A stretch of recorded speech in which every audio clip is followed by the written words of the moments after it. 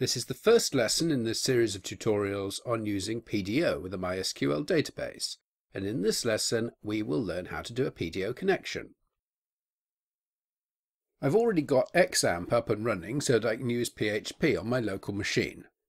And I've provided an SQL file called testdb.sql available to download from the lesson text at webinaction.co.uk which you can import into phpMyAdmin.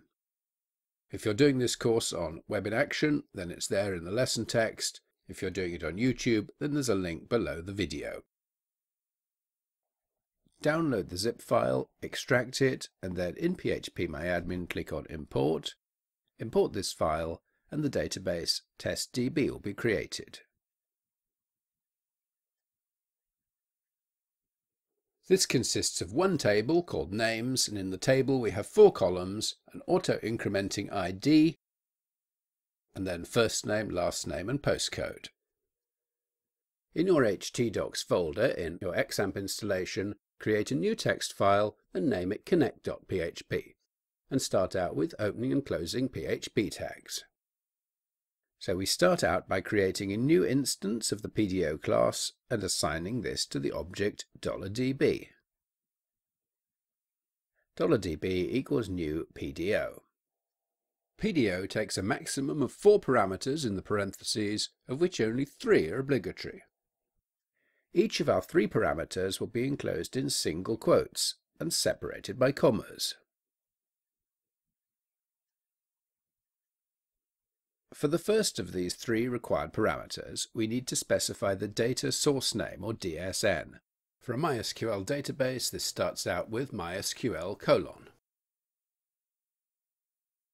This is followed by host equals and the name of the host where the database is, which is localhost. And semicolon. Then db name equals, and the name of the database, which is testdb. And semicolon again. Then, very important, the character set of the database. We can see in the SQL file that the default character set is UTF-8, which is what we should be using for everything. So we set that here in the connection script using charset equals UTF-8. That's the end of that first parameter.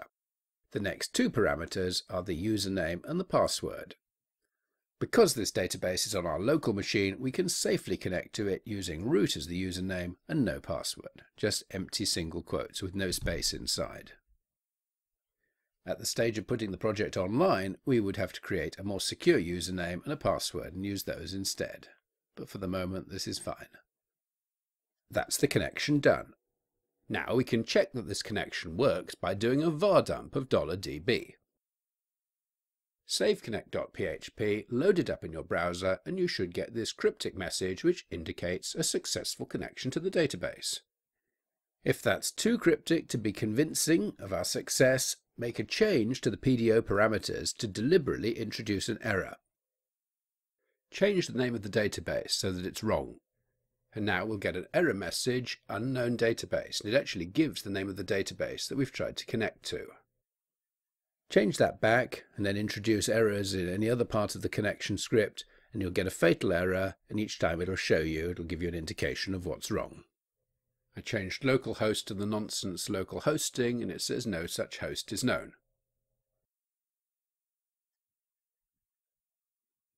Change the host name back to localhost, and change the username this time to something which we haven't got on the system. This time I'll get the message that access has been denied, because obviously the username's wrong now.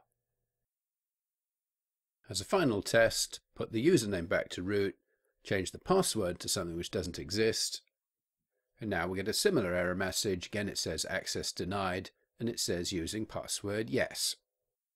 So we made a successful connection, and then we messed it up by introducing errors, and we found that when we did this, we got an ugly and also very informative error message echoed out to the browser. This is useful in development because we want to know what's gone wrong, but it's not what we want our end users to see. It's not just ugly, it also gives away information about our system, which we'd rather people didn't know. In the next lesson, we'll use try catch to prevent this uncontrolled error message being returned, and instead we'll cause the program to fail gracefully without giving away any information about how our system works.